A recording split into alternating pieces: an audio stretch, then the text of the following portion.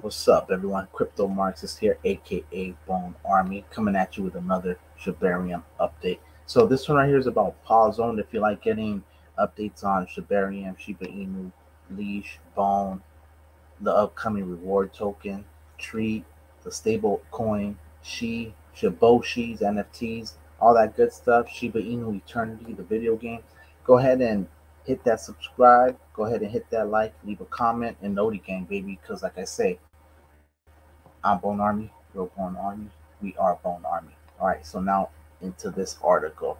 So this is dope because, uh, as you guys know, um, Paw Zone and Paw Token are complementary tokens and projects applications to the Shiba Inu ecosystem and Shibarium. So that's kind of dope. So it says this is from Market Watch. It says press release: Paw Zone launches Paw Token and announces upcoming NFT marketplace on Shibarium.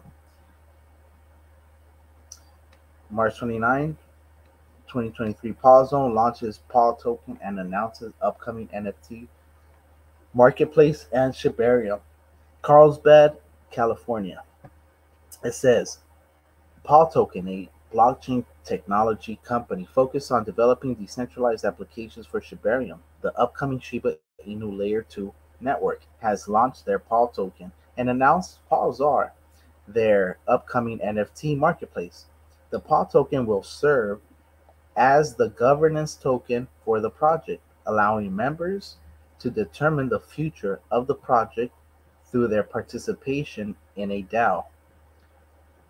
Pawzone's Paw token will offer a plethora of utilities without interfering with the many utilities the project's applications contain for the Shiba Inu tokens. This includes, but is not limited to, purchasing power in the NFT marketplace, NFT rentals, whitelist raffles, reward boosters, and much more, providing a versatile and engaging ecosystem for the Paw Fighters community. The token will be used in Pawzone's Play to Earn Guild, the Shiba Inu Gaming Guild, where members can earn Paw tokens that they can use to purchase NFTs in PawZaar or level up in the guild. Members who hold Paw tokens will have a greater say in determining the future of the project as well as the in-game assets that will be chosen for the guild.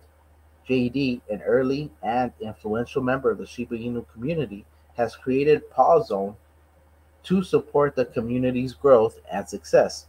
With Paw Zone, JD aims to inspire and empower others to contribute to the Shiba Inu network and shine light on its strong and vibrant community. The Paw token has a token supply of 1 trillion, but half of the supply has been burned on launch, making it a deflationary token. Additionally, 25% of the supply has been allocated for liquidity, while the remaining allocation is locked and vested for the Paw Zone Treasury Fund, staking rewards, trading rewards, and founding team. The launch of the Paw token was an exciting development for Paw Zone and the Shiba Inu community. With the Paw Fighters and the Shiba Inu community behind it, Paw Zone is poised to continue its growth and development in the coming months. Paw is available for purchase on ShibaSwap. About Pawzone. Pawzone is a blockchain technology company focused on developing decentralized applications for Shibarium, the upcoming Shiba Inu Layer 2 network. The community, the Paw Fighters, is dedicated to the betterment of the Shiba Inu ecosystem.